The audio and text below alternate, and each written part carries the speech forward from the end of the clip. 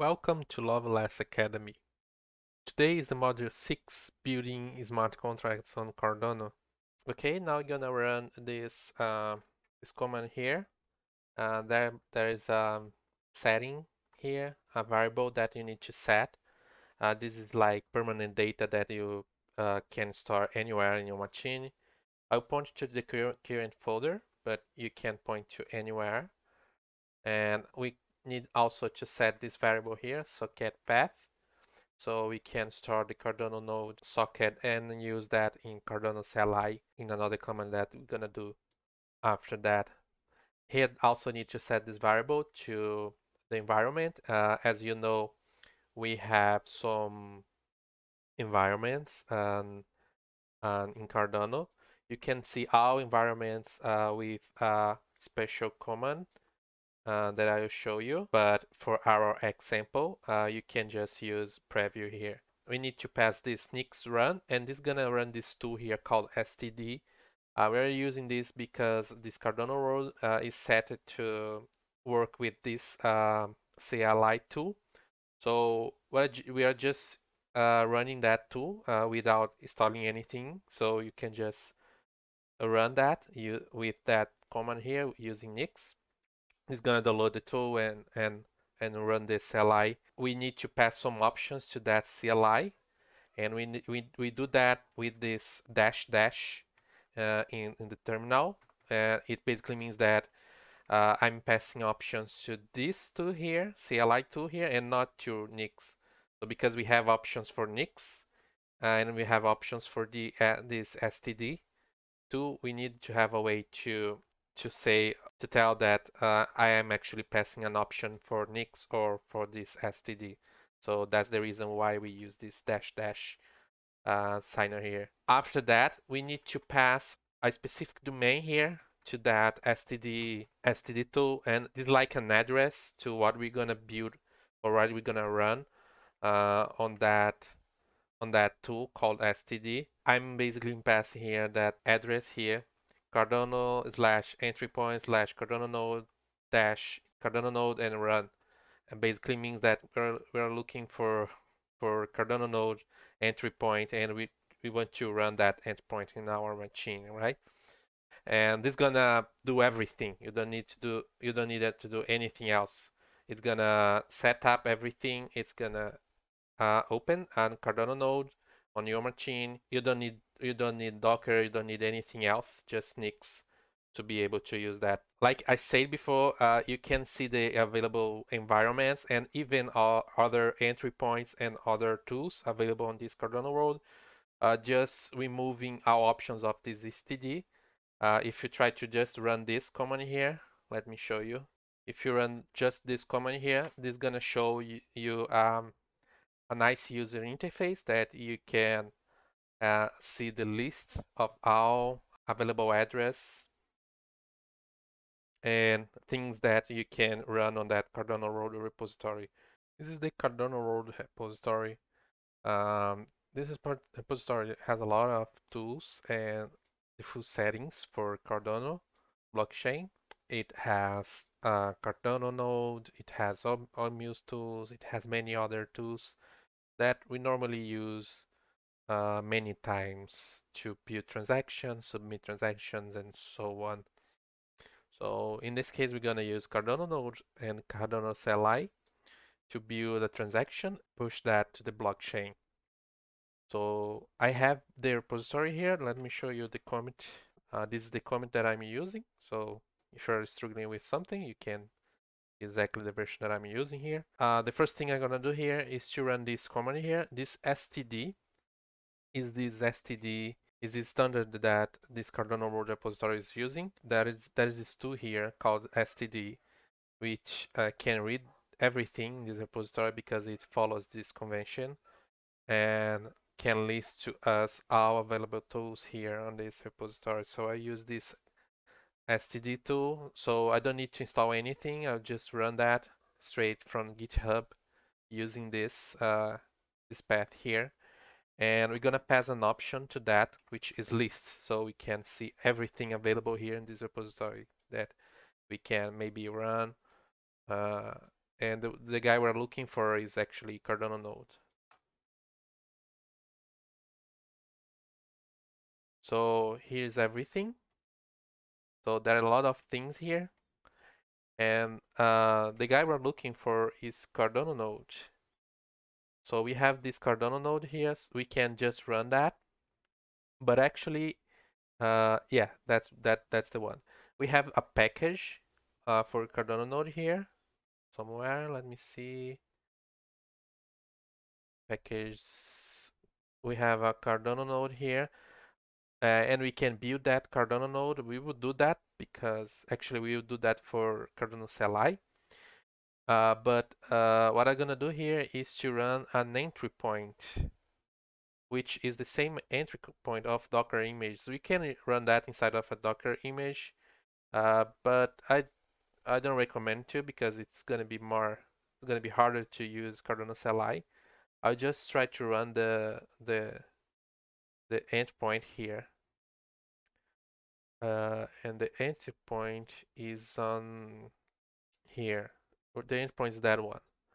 So to run that, we just need to pass to this to this tool here the address. So I'm gonna just paste here. So when I don't when I do that, I'm gonna run a Cardano node but there are some settings that we need optionally pass to that Cardano node and we pass those options through variables so we need to set those variables we could we can also pass those options using some options here but let's use the the variable which is easier.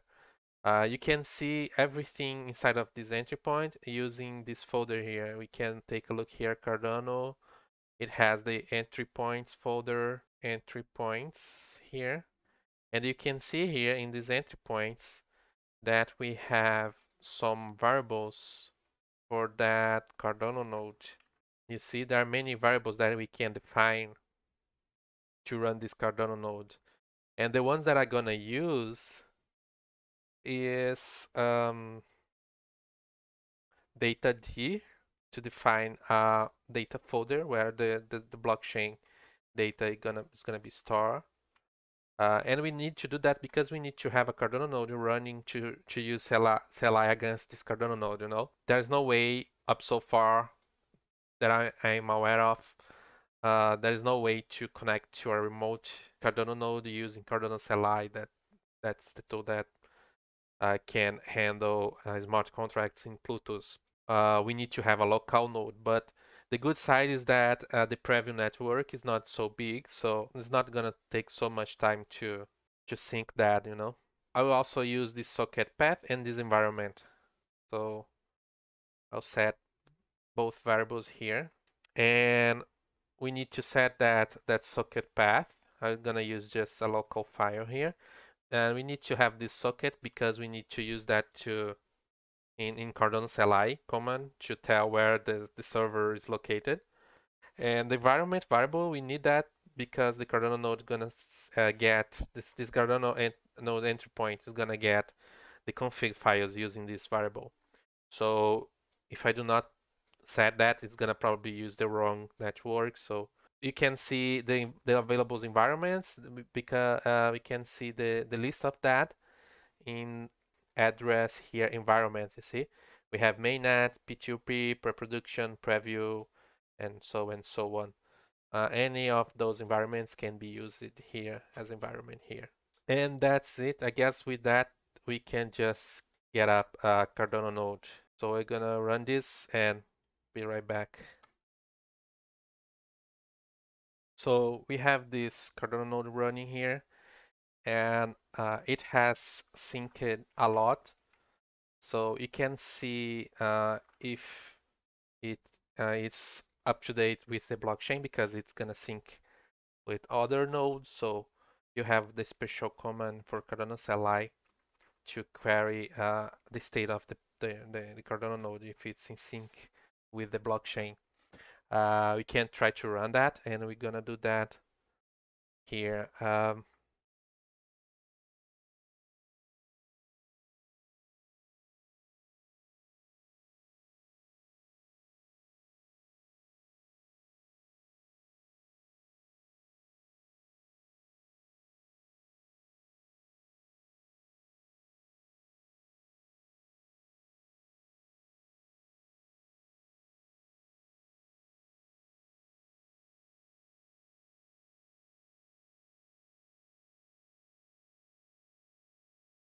So I run that command again to see the list of available tools here.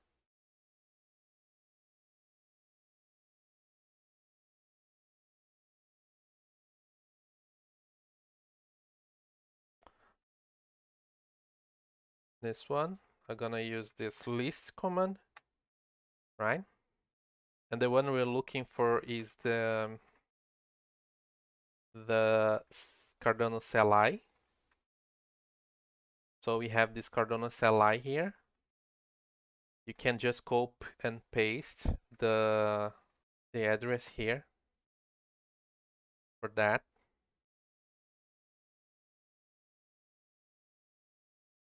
can use this build one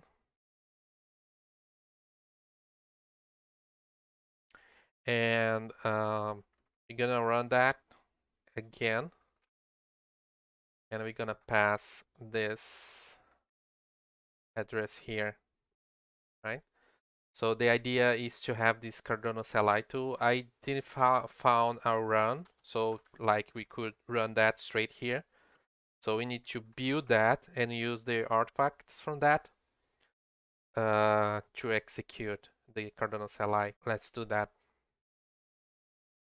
So I guess this created something here.